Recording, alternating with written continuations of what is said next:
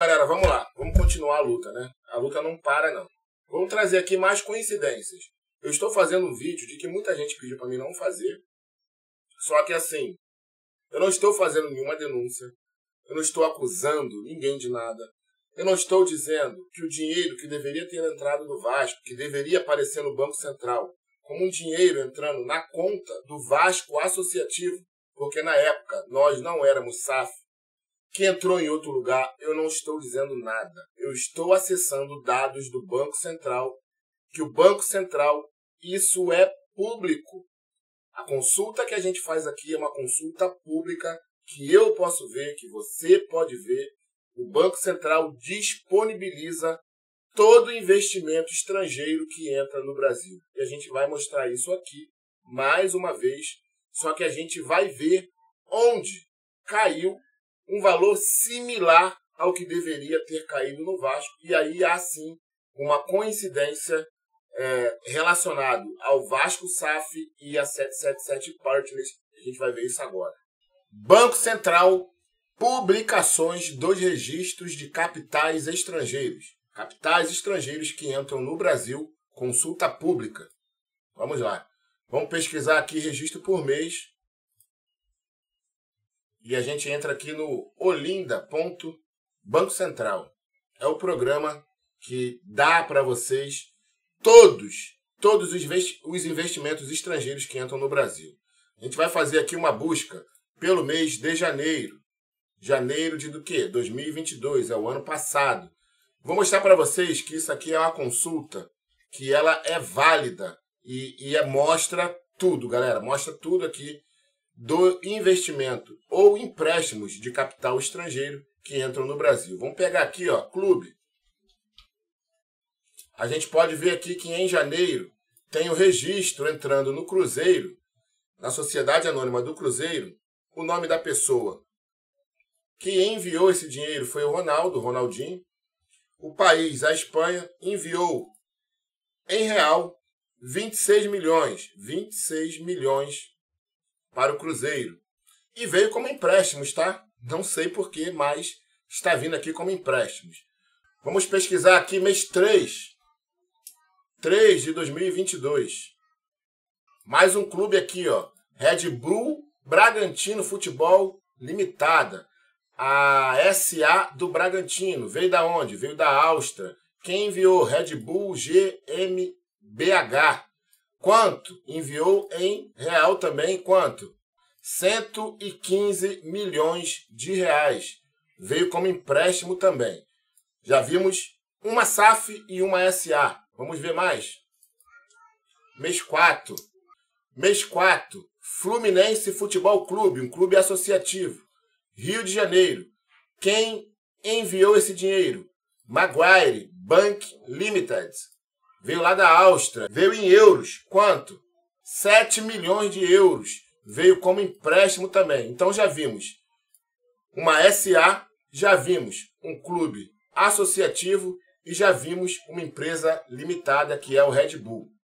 Vamos ver aqui agora, galera. Olha só, Gazeta Esportiva, uma reportagem, tá? Conselho do São Paulo aprova empréstimos que totalizam 25 milhões de reais.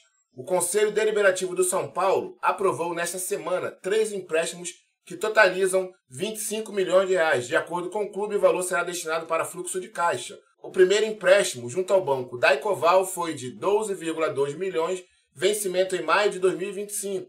Já os outros dois foram viabilizados pelo Banco Rendimento, um de 5 milhões de reais e o outro de 8 milhões de reais. Vencimento em maio de 2025. Banco Daicoval emprestando dinheiro para o São Paulo. Vamos pegar aqui, ó, mês 8, mês de agosto. São Paulo. Já apareceu, né? Já apareceu.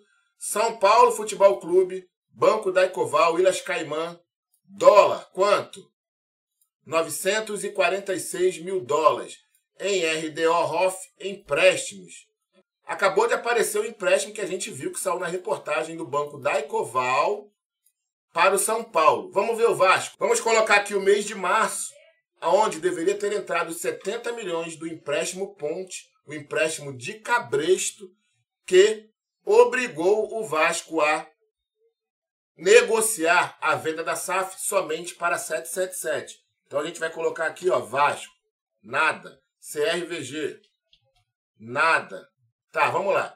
Então não tem nada aqui do, do Vasco em março. Mar, março não tem nada.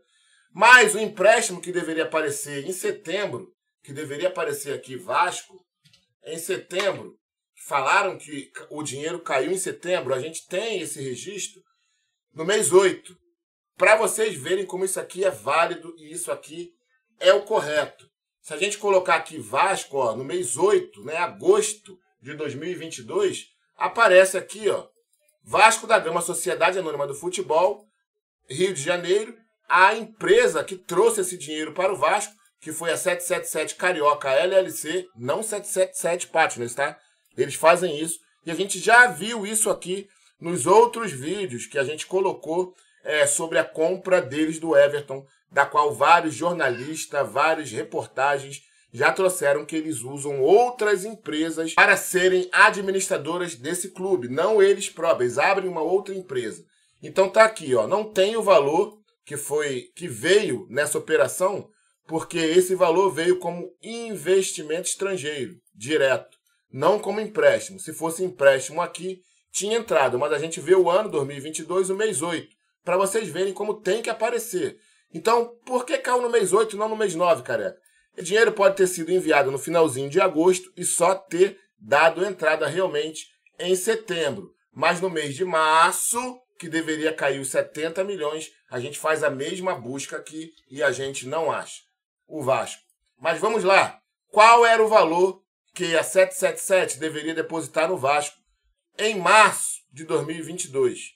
O que nos foi passado é que seria um empréstimo de cabresto, um empréstimo para segurar o Vasco e permitir que só a 777 pudesse ter o direito de fazer uma oferta naquele momento para o Vasco por causa desse empréstimo ponte de 70 milhões que deveriam ter entrado nas contas do Vasco e a gente viu que não entrou, pelo menos no que tange o Banco Central, que é um registro do capital estrangeiro entrando no Brasil, não entrou esse dinheiro na conta do Vasco em março pelo o site do Banco Central, deveria, mas não aparece.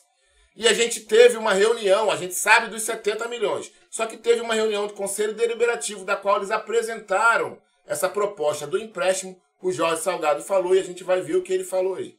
Com essa restrição absurda de caixa que a gente tem. Em função disso, em função disso, a gente está propondo um empréstimo ponte de 73 milhões, que faz parte, aliás, do memorando de entendimento com a 777. 73 milhões de reais. Galera, estou fazendo um vídeo rápido, sem enrolação, tá? 73 milhões de reais, na época que foi feito esse empréstimo ponte, que foi em março de 2022, o dólar variando ali nos seus dias, né, dia 4, dia 7, foi no início, daria algo em torno de 14,3,4,5 milhões de dólares, dependendo do dia. Então vamos lá, vamos ver agora no registro do Banco Central, onde entrou um valor similar ao que deveria ter entrado no Vasco. Vamos ver as empresas que entraram esse valor. Mais uma vez, isso é só uma coisa didática. Eu não estou afirmando que esse dinheiro que deveria ter entrado no Vasco, que entrou outra empresa, não. A gente só está fazendo uma consulta porque, assim, a gente tem curiosidade e a gente quer saber. Porra, já que não entrou no Vasco, onde será que entrou um dinheiro similar a esse, né? Ou parecido com esse? Vamos lá. Aí a gente vem aqui no mesmo registro aqui do Banco Central, mês de março de 2022, e a gente vai pesquisar pelo valor da operação. O valor da operação foi em torno de 14 mil dólares, em torno, é em torno. E a gente põe aqui a moeda USD. Vamos simplificar ainda mais, vamos colocar aqui a unidade da federação, Rio de Janeiro, é óbvio. E aí a gente tem duas empresas que caíram é, um, um valor similar ao que deveria ter caído no Vasco. E a gente vai consultar essas duas empresas. Ou melhor, vamos consultar uma só. QP Brasil LTDA, que é o Qatar Petróleo, caiu lá em torno de 14 milhões de dólares. E aqui a gente tem outra empresa, todos elas vieram como registro de empréstimos, tá, galera? Veio 14,5 milhões de dólares para a ONGC Campus limitada aqui do Rio de Janeiro. Então vamos lá, galera. Mais uma vez, eu não estou dizendo que esse valor deveria ter caído no Vasco, caiu em outro lugar, não. A gente só está analisando valores iguais. Valores iguais. Ah, deveria ter caído quanto no Vasco? Em torno de 14, alguma coisa milhões de dólares. Qual outra empresa do Rio de Janeiro que caiu isso? Aí a gente tem aqui 14 mil dólares caindo na QP Brasil LTDA, que é a Qatar Petroleum, veio lá do Qatar, na moeda USD, 14 milhões de dólares. E a gente tem aqui a outra, 14,5 milhões de dólares, ONGC Campos Limitada, vindo da ONGC Niliganga BV. Então, assim, não aparece o nome do Vasco, não tem nada a ver com 777 Carioca LLC, mas a gente vai fazer uma consulta por curiosidade nessa empresa aqui, ONGC Campos. Campos, Campos Limitada. Vamos lá. ONGC Campos Limitada, aqui está o CNPJ dela. Então aqui, consultando o nome ONGC Campos Limitada, tem aqui o CNPJ dela. A gente vai pesquisar esse CNPJ aqui lá no site da Receita Federal. Vamos lá. Então aqui a gente está no site né, do governo, a gente vai consultar esse CNPJ através do site do governo. Tá aqui, ONGC Campos, é, extração de petróleo e, petróleo e gás. Petróleo e gás. Não tem nada a ver com Petrovasco não, tá, galera? Pelo amor de Deus. Vamos consultar o quadro QSA. Então, quem está aqui, galera, representando essa empresa, ONGC Nile Ganga BV, e se você pegar aqui, ó, foi da onde veio, né, o nome da pessoa estrangeira que enviou o dinheiro para a ONGC Campos, Campos LTDA, foi essa empresa aqui, ONGC Nile Ganga BV, que tem esse nome aqui como seu representante legal e procurador, qualificação dele, procurador, representante legal e administrador da empresa ONGC Campos Limitada. E o que isso tem a ver com o Vasco, careca? Nada. Nada tem a ver com o Vasco. Teria a ver com o Vasco se tivesse o nome 777 Carioca LLC, se tivesse o nome de Vasco da Gama, coisa que a gente não viu. A gente não viu isso. A gente viu um registro de capital estrangeiro, dinheiro que deveria ter entrado no Brasil. Há outras formas desse dinheiro, desse capital estrangeiro entrar no país sem passar pelo crivo do Banco Central. Eu não sei. Eu não sei, sinceridade, não sei. Não sei dizer isso para vocês. O que eu sei, eu estou mostrando.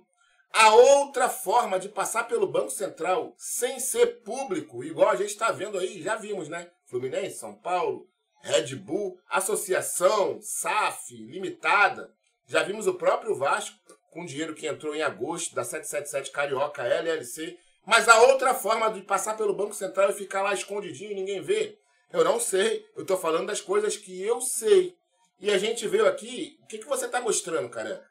que um valor similar ao que deveria ter entrado no Vasco, por questões de curiosidade, por questões de informação e por ser uns dados públicos, a gente viu que entrou 14,5 milhões de dólares, um valor similar que deveria ter entrado no Vasco, na ONGC Campos Limitada.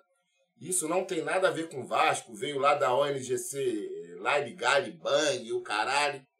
Mas assim, vamos lá, vamos ver agora aqui. Já que a gente viu quem é o administrador e o responsável por essa empresa no Brasil. Mas sim, tem uma ligação esse nome com o Clube de Regatas Vasco da Gama, como a gente vai ver aí agora.